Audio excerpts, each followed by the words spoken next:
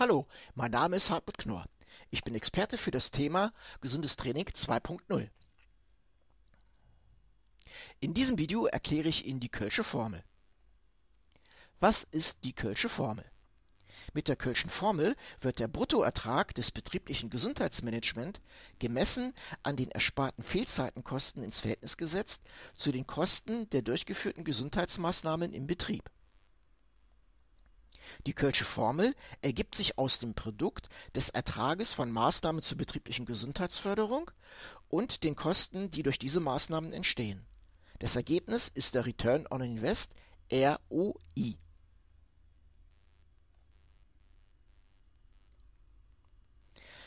Ich möchte das anhand eines Beispiels aus der Praxis erläutern die Firma A GmbH ist ein Unternehmen der Informationstechnologie mit 250 Mitarbeiterinnen und Mitarbeitern. Der Krankenstand im Jahre 2010 verursachte Entgeltfortzahlungen von 630.144 Euro. Im Jahre 2011 führte dieses Unternehmen Maßnahmen zur Gesundheitsförderung ihrer Mitarbeiter durch, mit dem Ergebnis, dass 420.318 Euro an Entgeltfortzahlungen anfielen Ziehen wir Bilanz, erhalten wir einen Ertrag von 209.826 Euro. Die Kosten für diese Maßnahmen beliefen sich auf 99.250 Euro.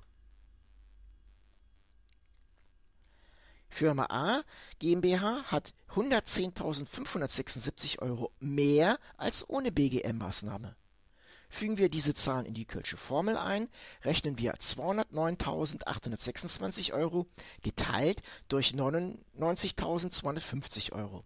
Ergibt einen Return on Invest von 2,1 zu einem Euro.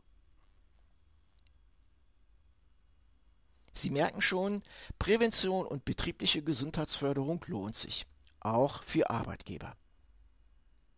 Wenn auch Sie Arbeitgeber sind und von diesem Return on Invest profitieren möchten, dann senden Sie einfach eine Mail an hartmut.knorr.htp-til.de.